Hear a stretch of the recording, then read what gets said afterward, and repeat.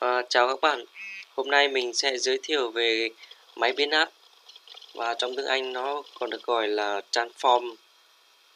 À, như chúng ta đã biết thì máy biến áp rất là phổ biến ở trong cái đời sống. Nó có ở các từ hộ gia đình, những hộ kinh doanh sản xuất nhỏ cho đến các xí nghiệp, nhà máy. Đấy. Như như vậy thì ta cũng có thể thấy được cái tầm quan trọng của nó. Tiếp theo mình sẽ xét đến cái cấu tạo của máy biến áp.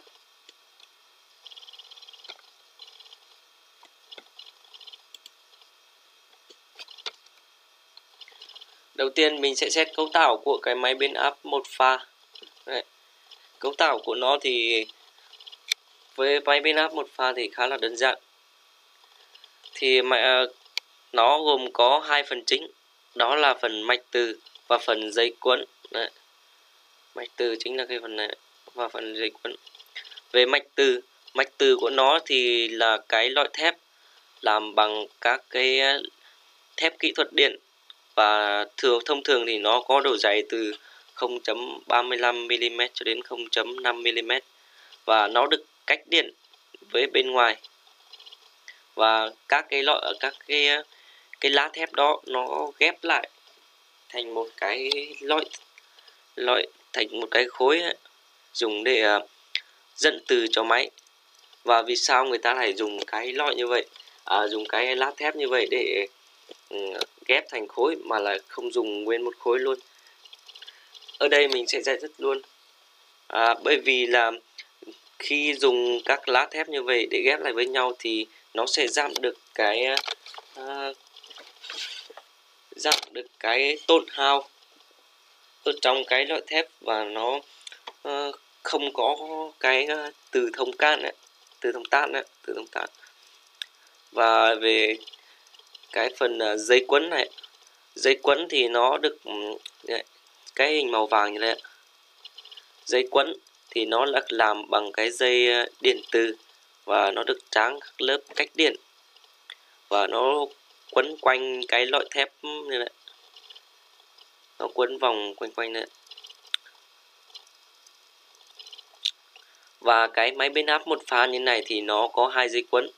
Một là cái phần dây quấn ở, ở primary à, circuit này. Tức là cái cuộn sơ, sơ cấp và một cuộn dây quấn ở cái cuộn thứ cấp là secondary circuit Đấy. và dây quấn ở cuộn uh, sơ cấp thì nó được nối với nguồn nguồn vào ấy và dây quấn ở cuộn uh, thứ cấp thì nó sẽ nối với cái nguồn ra Đấy.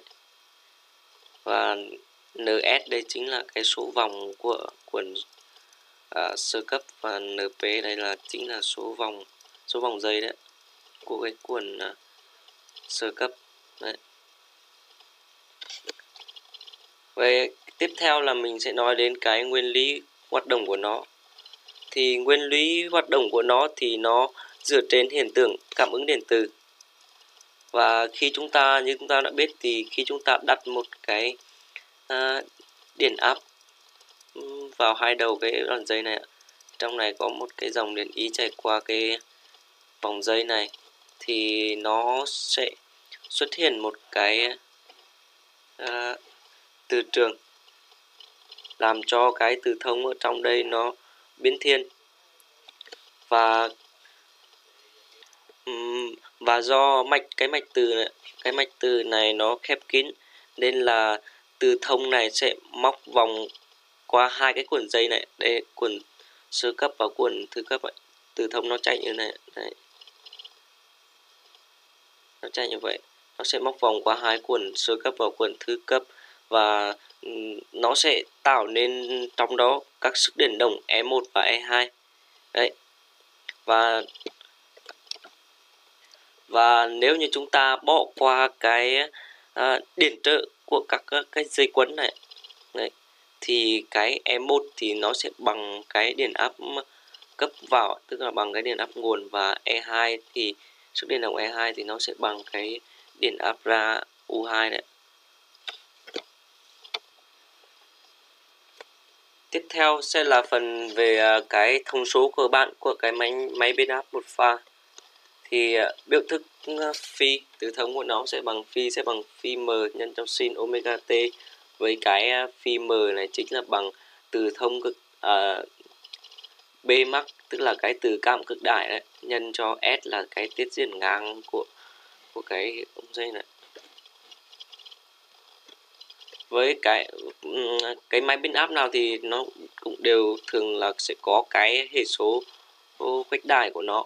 Thì cái hệ số khuếch đại cá biến áp này ta cũng có thể gọi là cái hệ số máy biến áp ấy, thì nó sẽ bằng E1 chia cho E2 ở đây E1 E2 là cái suất điện đồng của cái à, quần sơ cấp và quần thứ cấp. Đấy.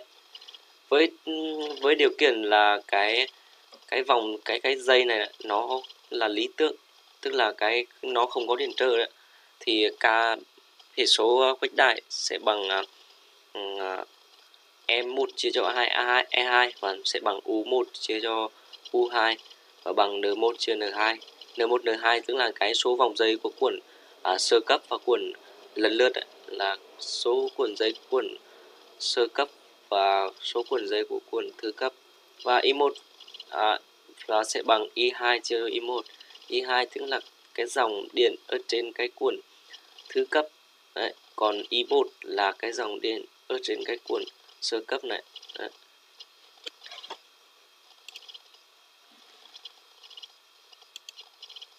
và tiếp theo sẽ là phần về ứng dụng dụng của cái máy biến áp này thì uh, ứng dụng thì nó được sử dụng cho các thiết bị điện tử dân dụng. Đấy, ví dụ như là cái biến thế cách ly này. À, nó cũng được dùng ở trong các cái à, hộ gia đình.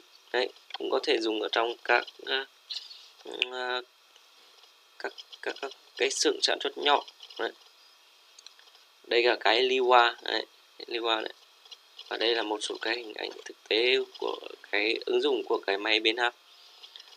Và tiếp theo thì mình sẽ giới thiệu về cái máy biến áp 3 pha này. Với cái máy biến áp 3 pha này thì cấu tạo nó cũng gần gần giống như là cái máy biến áp một pha. Nhưng chỉ khác một điều rằng nó thêm một cái cuộn dây nữa và cái loại và ờ, và lúc này thì cái loại thép của nó cũng khác đi một chút ạ. Thì như cái phần trước thì nó sẽ uh, cấu tạo của cái máy biến áp một pha thì cái máy biến áp ba pha này thì nó có ba cái cuộn dây.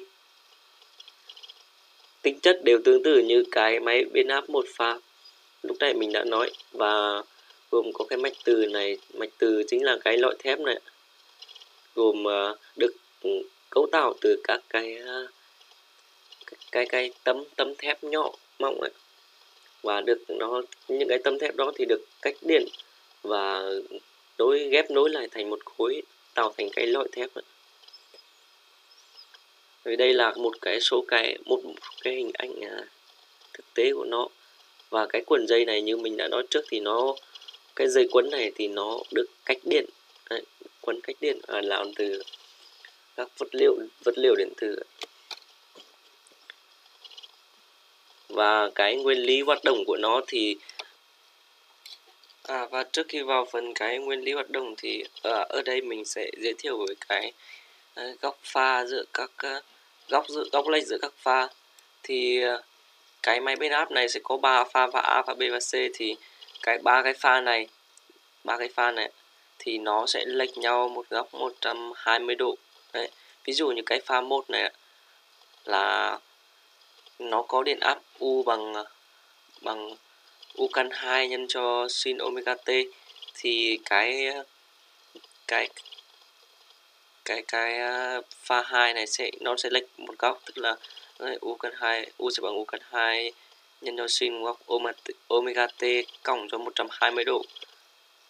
Và tiếp tục với cái pha 3 này thì cái góc của nó sẽ lệch đi tức là bằng sin của nó sẽ bằng sin sin của nó bây giờ sẽ là sin của omega t trừ cho 120 độ. Đấy. Như vậy là cái ba cái này sẽ à, ba cái pha này sẽ lệch nhau một góc 120 độ. Đấy. về à, cái đây là một số cái cách à, cách mắc cách mắc cái cuộn giấy đấy. Đây ở đây người ta sẽ mắc theo cuộn à, theo cái cách mắc tam giác mắc hình tam giác đấy và đây là cái hình ảnh thực tế của nó. À, về cái nguyên lý hoạt động của nó thì nó cũng, cũng tương tự như cái máy biến áp một pha thì nó hoạt động theo cái uh, nguyên lý uh, theo cái hiện tượng cảm ứng điện từ đấy. tức là khi có một cái dòng khi chúng ta đặt điện áp vào cái cuộn sơ cấp này thì sẽ xuất hiện dòng điện và cái dòng điện chảy qua cái cái cái cái dây quấn này dây quấn này sẽ quấn quanh cái lõi thép này thì nó sẽ làm cho cái từ thông ở đây nó biến thiên đấy, từ thông biến thiên. Và nó chảy đến các cái cái vòng dây cuốn tiếp theo dây cuốn một ở pha B và pha C này. thì nó sẽ tạo ra các sức điện động E1, E2 và E3 này.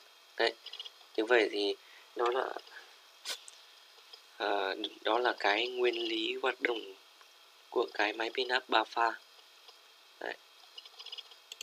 và tiếp theo thì mình sẽ giới thiệu cái phần à, về tụ nối dây á. Tụ nối dây của cái máy biến áp 3 pha. Đấy. Ở đây thì đây là ba cái pha của máy biến áp đấy, A và B C. Đấy, thì đây là cái cách mắc hình à, sao. Đấy. đây là pha A pha B và pha C. Đấy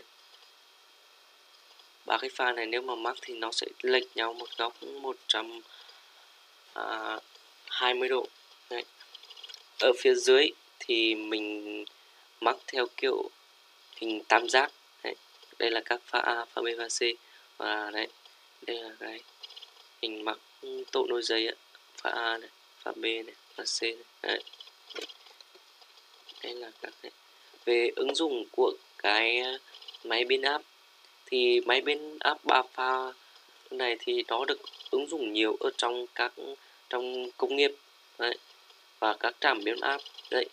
Nhưng mà đã biết thì để đưa điện về từ cái nhà máy điện ấy, về các hộ gia đình như mình sản xuất như mình sản xuất hoặc là điện sản xuất hoặc là điện à, ở các hộ gia đình thì khi đưa từ điện áp từ cái nhà từ từ cái nhà máy này. Từ nhà máy điện đến các hộ dân thì khi đưa thì điện áp ở đây nó sẽ rất lớn. Đấy. vì sao lại rất lớn? Vì khi dòng điện lớn trong nó lớn thì nó sẽ giảm tải được cái hao tổn khi uh, di chuyển. Đấy. Và khi đến đến các hộ gia đình thì, thì bắt buộc chúng ta phải giảm áp xuống. Đấy. Giảm áp xuống để có thể sử dụng được vì nếu sử dụng cao thì cao áp thì nó sẽ rất là nguy hiểm đấy. nên là chúng ta phải giảm áp xuống thì muốn giảm áp thì ta phải sử dụng cái máy biến áp này đấy. thì cái máy biến áp này đó đó là cái chức năng của cái máy biến áp này đấy. máy biến áp này có thể đấy, đây là một trạm biến áp này đến đây nó sẽ có một cái trạm biến áp tiếp đấy, và nó chia ra hai nhánh một là về hồ gia đình này và một là về các nhà máy sản xuất này đấy. và đương nhiên thì điền về cái um, nhà máy sản xuất thì nó sẽ cao hơn đấy điện áp nó sẽ cao hơn về cái những cái hồ gia đình đấy nên là cái máy cái biến áp này nó sẽ có nhiều thang đấy, biến đổi về các thang điện theo cái mong muốn của mình đấy. thì uh, trên đây là cái phần giới thiệu về cái máy biến áp um, một pha và ba pha đấy. Và cảm ơn các bạn đã theo dõi